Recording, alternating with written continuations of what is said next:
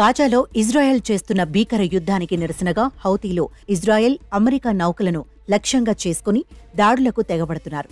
తాజాగా అమెరికాకు చెందిన జెన్కో పికార్డి అనే కంటైనర్ నౌకపై డ్రోన్ల సహాయంతో బాంబు దాడులు చేశారు. గల్ఫ్ ఆఫ్ ఎడెన్లో ప్రయాణిస్తున్న జెన్కో పికార్డిపై హౌతీలు డ్రోన్లతో బాంబులు విడిచారు. ఈ ఘటనలో ఆ నౌకలో కొంత భాగం దెబ్బతింది. బుధవారం రాత్రి పదకొండు గంటల పదకొండు నిమిషాల సమయంలో ఎంవి జెన్కో పికాడీపై డ్రోన్తో దాడి జరగగా సాయం కావాలని అభ్యర్థన వచ్చింది. దీంతో భారత నౌకాదళం వెంటనే స్పందించింది. గల్ఫ్ ఆఫ్ ఎడెన్లో యాంటీ పైరసీ ఆపరేషన్లో ఉన్న ఐఎన్ఎస్ విశాఖపట్నంను అధికారులు జెన్కో పికాటి దగ్గరకు పంపించారు.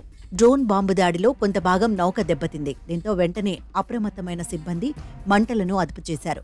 దాడి జరిగిన సమయంలో నౌకలో తొమ్మిది మంది భారతీయ సిబ్బంది సహా ఇరవై రెండు మంది ప్రయాణిస్తున్నారు. ఈ ఘటనలో ఎవరికీ ఎలాంటి హాని జరగలేదని మంటలను అదుపులోకి తీసుకొచ్చినట్టు నావీ తెలిపింది. ఐఎన్ఎస్ విశాఖపట్నం వెళ్ళిన Indian Navy explosive ordnance disposal సిబ్బంది నౌకలో దాడి జరిగిన ప్రాంతాన్ని పరిశీలించారు. ప్రస్తుతం నౌక సురక్షితంగా తన ప్రయాణాన్ని తిరిగి ప్రారంభించింది. ఇక హమాస్ ఇజ్రాయెల్ యుద్ధ నేపథ్యంలో ఎర్ర సముద్రంలో వ్యాపార నౌకలపై హౌతీ మిలిటెంట్లు దాడులు చేస్తున్నారు.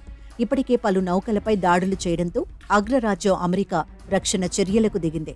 ఎమెన్లోని హౌతీ తిరుగుబాటుదారుల స్థావరాలపై క్షిపణి వైమానిక దాడులు జరుపుతోంది.